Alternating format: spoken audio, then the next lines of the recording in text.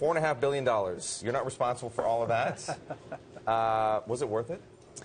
Well, four and a half billion is a big number, but in terms of nuclear plant, that's a fairly cheap plant. You know, the other ones that are being built will be seven billion, and so it will be a very effective asset for us. It'll power 700,000 homes, carbon free, at a cost that's below our embedded cost of electricity today. So yes, it's worth it. Should we rethink nuclear in America now that this country has access? He just dropped so four and a half billion bucks. Much. Think we should rethink it?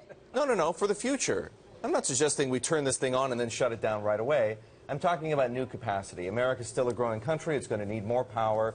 Now that we have access to all this cheap gas from fracking, should we build any more nuclear plants? I think we need to build nuclear plants. Um, you know, today in the country, 19% of our power comes from nuclear. It's the cheapest, the most reliable, and by 2050, all those plants are going to be retired.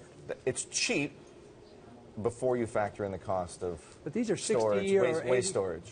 Uh, waste storage is uh, more of a political problem than a technical one. We know how to do this. They do it around the world using American technology. So I really don't think that's a big issue, and it's certainly not a big envi- uh, economic issue. And how is it more of a political issue? The environment? Uh, yes, where are you going to put it? All the things with Yucca Mountain and Nevada. Those are really political issues, not technical issues. So, from your perspective, what's more dangerous, storing nuclear waste or fracking in the Marcellus Shale? I think they're both safe. You know, the EPA came out yesterday with a report that fracking is generally safe if done right.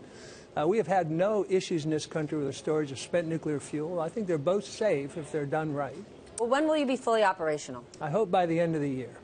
It's been a while. Eric said 1973 we started this. We've really worked on it in earnest for the last four years, so I would expect at the end of the year. Why many does the jobs sta- Sorry, I just on startup dates. Then we'll get to the jobs. Why does the startup date keep getting pushed back? Well, we started it. The first oil embargo happened. Actually, I would think I was in high school when it started. Um, the, No, I mean recently. Oh. Like it was, you know, it was supposed to be this month, in fact, wasn't it? Now, the, actually, the range was somewhere between June of this year and June of next year. So we will be. We like to give ourselves a little room here. We'd like to be. We'll be about halfway in the range, and December would be a great Christmas present for us. How many jobs have you created? People you employ?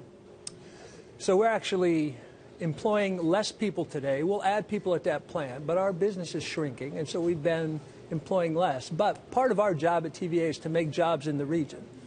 And if you look at last year and this year, we'll have made about 125,000 jobs and maybe 15 billion in capital investment, all driven by a very low electric rate. I know we have no time left. Just what's your view on the U.S. economy, given your position?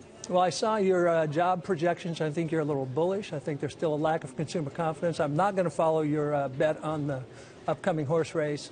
I think it's sluggish, it's rough, very hard to predict. There you go. Bill, great seeing you. Good to see you. Thanks First. Friday in June, no better day to talk nuclear energy. Bill Johnson, he's the CEO of the Tennessee Valley Authority.